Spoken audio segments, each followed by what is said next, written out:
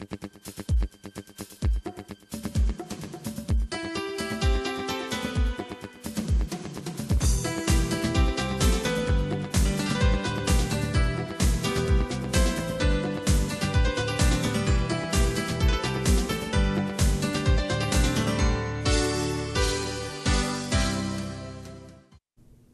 Sitaram, welcome back to Conversations. I'm Vishala Ganesh. If you're just joining us, well, welcome. Thank you for spending part of your day with us. We really appreciate it here on the show. It's Monday. I hope all of you are ready. So, those were two fantastic giveaways earlier on. Now we turn our conversation to polio. Yes, a disease that affects children all over the world and Rotary International is actually holding an End Polio Now awareness walk on Sunday, October 21st, 7 a.m., Queen's Park, Savannah. What is polio? Should we be worried? Well, with us on set, we have a very special guest with us. He is the former president of the Rotary Club of St. Augustine. He was also the chairman of the Polio Eradication for Rotary District. Um, also regional, he won the Regional Polio Award in North America, Central America, South America, and the Caribbean. He was also awarded the Hummingbird Medal, National Award in 2004. So let's bring on set with us Mr. Raj Jadu. Sitaram to you, Mr. Jadu. Sitaram Vishala. it's good to have you on set. Yeah, thank you.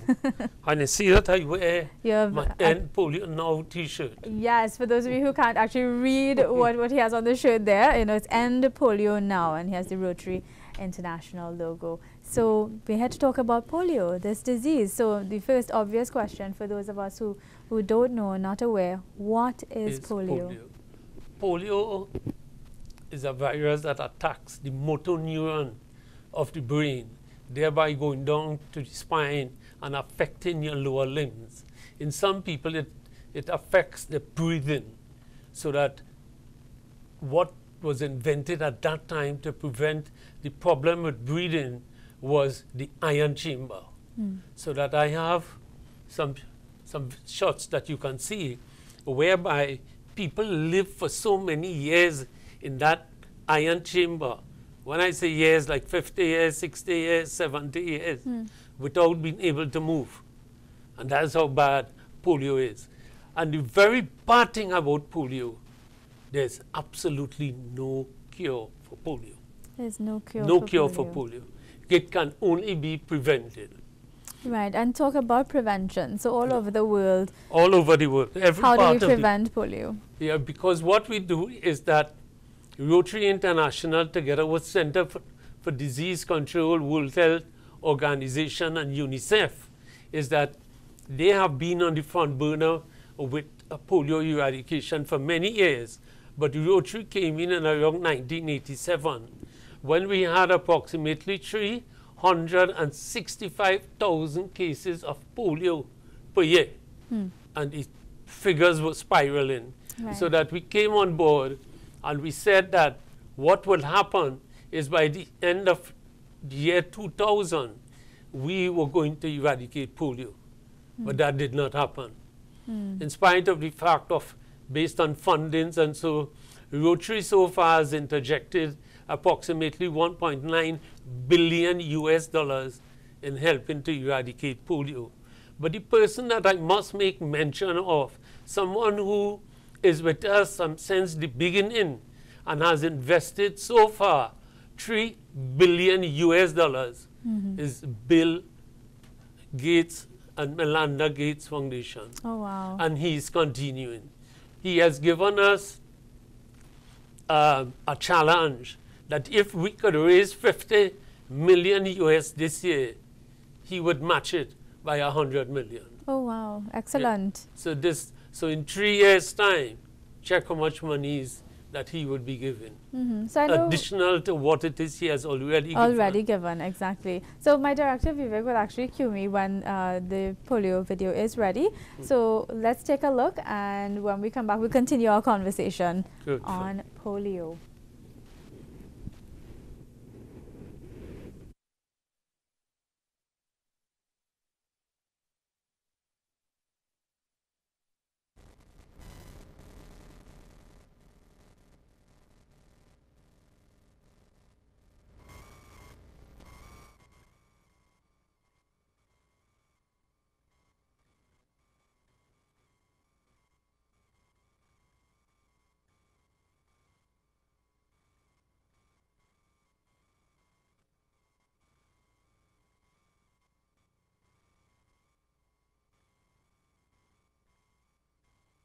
Had to wear at that time. And when you look at these little children, you could see how the legs are deformed because of the polio virus. That is the iron chamber that I was speaking to you about, that people had to live for so many years. And these two young ladies, that is a breathing apparatus because it also affects the brain. Mm-hmm. And when one goes to Nigeria, you will be totally surprised to see the amount of polio cases and the amount of people on skateboards because of polio. Right, because that's Yeah. the, how they can move around. Yes, but I will tell you why. Because in all Muslim countries, and if you look at this, it's showing you from birth, mm-hmm. and even when you reach an adult, you are still paralyzed. Because, as I mentioned before, there is absolutely no cure for polio hmm. once you contract the disease. And you look at these, look, look at the legs, you see, the, you see how, how Right. bad, and it's when you see it in person, it hits you right here. Uh, you have Amitabh Bachchan, you have Bill, Bill Gates, and they are telling, uh, Desmond Tutu, is that we are so close. We are 99.9% successful so far. But that, that little hmm, is creating a problem because polio could happen any day, any time. Yes, and let's talk about how the disease is actually spread. Good. I will tell you that. But all it needs is a plane ride. Mm-hmm. It needs no passport, no visas. But someone could be carrying the virus. And normally it is spread by bad sanitation. Mm. And then that could infect people food, you know, through flies and all sort of things. And then what will happen is that when you contract that disease, unknowingly, for six weeks, you could be a carrier and not knowing, hmm. so that it is spreading like wildfire Just through. to the eh? air. Mm-hmm. And because today we could have one case, and by next week Sunday, we could have over a thousand cases. That's why that's, That's why the is. one percent is bothering you because even though it's ninety nine point nine, it can create another epidemic. Good, because the only time that the world could be certified polio free is that every country in the world must not report a case of polio for at least three years. Hmm. That's the only time we will win the battle. Right.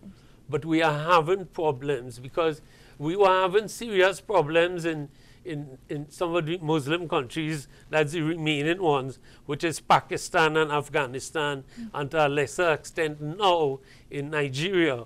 In spite of the fact, initially we had real problems in Nigeria. Mm-hmm. But when they started to see so many people have been paralyzed, and we brought in the Asantehene, the Asantehene to the Africans is like the Pope mm-hmm. To the, to the Africans. And he is an Oxford University grad, likewise his children, and they took the drops. Right. And it's when they took it, the people started taking it. but what were they fearful of? Like, why would Good. They were, I'm glad that you asked me that question. They were fearful, and at least, as I said, the Muslim countries fearful that the Americans want to sterile them and suppress Islam. Oh, so I guess maybe that propaganda spread throughout Nigeria and other countries, and, and so they didn't want to Pakistan, get. Afghanistan, Wow. even parts of India, because we had a problem in India, in Bihar, which is predominantly Muslims. And I remember the um, Imam was over the loudspeaker telling people, do not take the polio virus, Oh wow. the polio vaccine, sorry. Vaccine, yes. And lo and behold, the next day he had to sing a different tune because that said night, his grandson became very ill, and by morning he was paralyzed. So he had to go back to tell people, take the vaccine because it happened right on your doorstep. Hmm. And and this is how bad it is. let's talk about India for a second. Okay. So India, let's talk about your Rotary International's Yeah. work in India in terms of eradicating polio. What's but what we did, like? what we did in 2004, because of one or two little outbreaks, because once there's an outbreak, you got to go back and immunize people, and we broke history. We did 170 million children in one day. I repeat, Just we did day. 170 million children in one day. And the good thing about it is from the president of the country down, Mm-hmm. they were involved in the mobilization. Right. And that's the reason why today a country that has a population of approximately 1.3 billion and over is now polio free. exactly. And we are looking to make sure that likewise happens throughout the world. In Pakistan, just a, two, three years ago, we had that when people were moving around the volunteers, they were being killed. Hmm. We had several people who were killed in Pakistan because of that. Because they believed something. Because they believed you were coming to harm the them. nation. That's exactly. oh, that's so But then the president took a stand and he started sending the army together with the volunteers. And that's the reason why we have it down. As I told you, 1987, there was 365,000 cases of polio every year. Mm-hmm. Today, it is down to 22. right. But still a cause of concern. It's very cons because, as I told you, it spreads like wildfire. right. And what is um what is Trinidad and Tobago's story with regard to polio? Well, we have a problem is that, uh, and not only Trinidad and Tobago, eh, by extension, most of the countries in the world, we don't have it, so why worry? But it is the forgotten killer. Hmm. It could happen any day, any time. Why, Vishala? Is that vaccines were coming into the country. Remember, all our children under the age of five years has to be vaccinated. And if the vaccine is not stored at the right temperature, it becomes mutant. Right. And that's it, polio hmm. starts. Hmm. So everybody who will get the vaccine will contract it and it spreads. But out of ev- all the people who have contracted the polio virus, only about 2% die. But still, the rest could be paralyzed. And and live like what we saw in the pictures. They live their entire lives. And then if you notice the some people there is that there's a thing called the post-polio syndrome, yeah, which is not that. as much as predominant as the polio that affects children up to the age of five years. Is that you will, could have the, the, vi- the virus is in you because that's what they are putting. Eh? They are putting a live virus in you to combat it. And in the event that later on in their life, over the age of 20 years, is that for some unknown reason your body chemistry changes. You could go to sleep normal and you end up paralyzed, like what happened with Teddy Roosevelt, the President of the United States of America. Mm-hmm. It has happened in, in China, it has happened in Australia, it has happened all over. But we are trying our utmost to prevent things like that. Hmm. And we are appealing to people throughout the world, to children, parents in particular. Vishala, there is absolutely no country in the world that where every child is immunized against polio. There is no country, not even America. That's the reason why it had an outbreak in Africa hmm. about two years ago, and America was very concerned.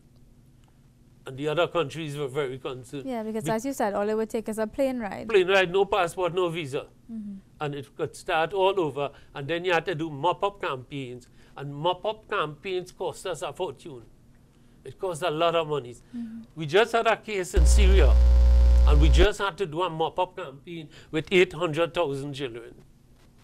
Because you remember, if that starts spreading, you're in trouble. So it's better you do a mop up campaign. We just did a mop up campaign also in, in the Congo because of the same. We have to be, we have the surveillance and the vigilance at all times. Is that we look at every case in the event something happens to a child, anything to do with paralysis.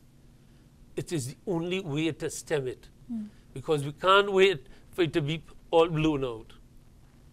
But I must thank, you know, Rotary and Center for Disease Control and UNICEF. Um, for all the help and support that they have been given to fight this disease. Mm. You know, I remember doing a project here in Trinidad some years gone by, and the first thing people say, we don't have polio, why I must support that? Mm -hmm. But we are saving your children's lives. Right, we so are saving your grandchildren, your great grandchildren, your future generation. Mm -hmm. And all of us must come on board to save the world, children. Definitely. And if we have, if we can't do that, then we have failed ourselves, our children, our grandchildren, our great grandchildren, and we have failed the nation and the country and the world at large. Mm. But we get vaccinated for so many other diseases. Yeah, but you must get for polio, you must. Right. That's a must. Is, is, is, uh, because we had it as polio plus, eh? because like other diseases too. But the concentration is really on polio. Mm -hmm. And that's the reason why we are trying to build the awareness here is that on the 24th of October is World Polio Day.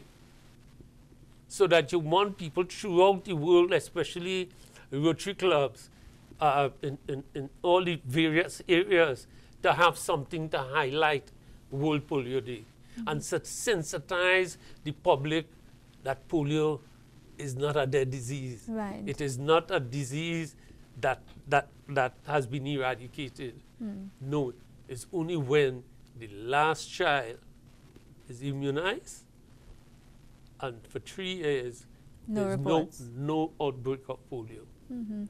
So, and this is why on Sunday, October 21st. No, yeah, this Sunday, this Sunday, yeah. you are, well, the Rotary, Rotary International yeah. uh, is hosting End Polio Now Awareness Walk. Walk. And this takes place where? Along the Queen's Park Savannah, right opposite TGI Friday at 7 a.m. in the morning. Right. And we'll have so many dignitaries because people from the American Embassy, ministers, members of parliament, and so many Rotarians and friends and well-wishers and supporters would be there. So we are encouraging people to come and support it because in truth and in fact, you're supporting the life of your own children, grandchildren, great-grandchildren, mm. and generations to come. Mm. So that's End Polio Now Awareness Walk this Sunday, October yes. 21st. Queen's Park Savannah. Everyone knows where the Savannah is, right? 7 a.m. sharp. The starting point is opposite TGI. TGI. And then what will happen is that if they want to register, because you can get a T-shirt like this, yes, registration is just $100, which includes a T-shirt. And you register on the day or you yeah. can pre-register? No, you can pre-register. You go on endpolionow.tt.com. Endpolionow. No. TT.com. And you can register. Okay, and registration is just a $100? Just a $100. And you get the t-shirt Yeah, because all we want to do is to build the awareness. Okay. That's what we want to sensitize people that this is so much alive and could affect all of us. Hmm, definitely. Now, I got passionate about polio, I will tell you when. Eh? I attended Tunapuna Hindu School. Mm -hmm. And we had Dr. Emmanuel Hosein, who is now Dr. Emmanuel Hosein and former member of parliament. We used to have to lift him up to take him up upstairs. Okay. And send, I'm telling you, look, my hair is, because I always remember that, to see this young boy that, you know, totally paralyzed. And we had to take him up there. And today he could stand. I, on Sunday he will be speaking about it. And that you feel so proud. David Rudder is a polio victim also. And we have so many other people who are polio victims in this country. Uh, yeah, and, and, and, some of us are none the wiser. None the wiser. So we'll hear them yeah. speak about and the you disease you will see Sunday. some people there who, who were stricken with polio at that time. Oh, wow. And there were plenty people, plenty people. Mm. But and you as see, you said, this, this no era, this young generation in the last 30, 35 years don't know nothing about polio. I am sure some of them were shocked to see how people are so crippled. Yeah, definitely. And I was saying like an entire generation has passed, you know, entire yeah. 30 years. And even in my experience, I have not even encountered anyone One with, polio, with polio oh. or not aware that oh. polio was a problem in Trinidad and That's Tobago. That's exactly what I was going to tell you. You're not mm. aware. Right. But you've probably seen the people and you feel, you know, it's something else. But little you realize that it's poliomyelitis. Yeah, and I, I didn't yeah. realize. And so you think that polio is a is a disease in some faraway country Yeah. affecting other people, not here in Trinidad It and could affect anybody throughout the world. Yeah, well, you see, that's why just had a case in power. Papua New, New Guinea. As a matter of fact, five cases. Yeah, too. Five cases. Yeah. Well, that's five But they- cases too much. yeah, but they had to do a mop-up campaign first. Right. They had to So when you say mop-up campaign, it's just They a have to quarantine. go back and immunize all the children. Oh, it's okay. So Yeah, you can yeah. be immunized more than once. Yes. Hmm Because they wouldn't know why the why the disease is spreading. They wouldn't know why. Yeah. I remember in 1987, when I was in the Rotary Club, I had, had just joined, is that uh, we had gotten 250,000 US dollars grant to bring in the polio vaccine. And what happened? No, we used it Okay. and we started immunize people. but now that is something that has to be continued. You cannot stop, no way. Right. It's- And as you said, it has to be kept at the right temperature. At the right temperature at all time because once it becomes mutant, and let me just tell you something, just two months ago, they had two cases in Venezuela right next door.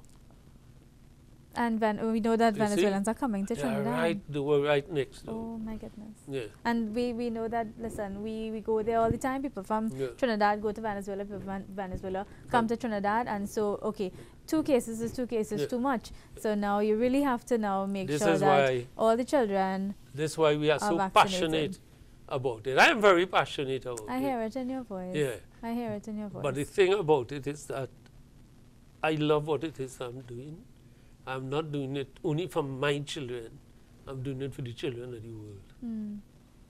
Well, I want to thank you for for bringing this to us today. I feel like you know, for Monday conversations, it's very important to you know, start the start the week off on, on a proper note. Yeah. And uh, what better way to do with some knowledge about polio? If you've never thought about polio before today, this conversation is so important because you're going to remember it. And you, and all this week, I'm sure the Rotary International would have been would be making Yeah, last minute throughout- throughout the preparations world, for yeah. the walk Yeah. on Sunday. And so I encourage us all I invited Trinidad and Tobago, Tobago. can can can come out and go to endpolionowtt.com. You can register hundred dollars, one hundred dollars to register. You get your T-shirt.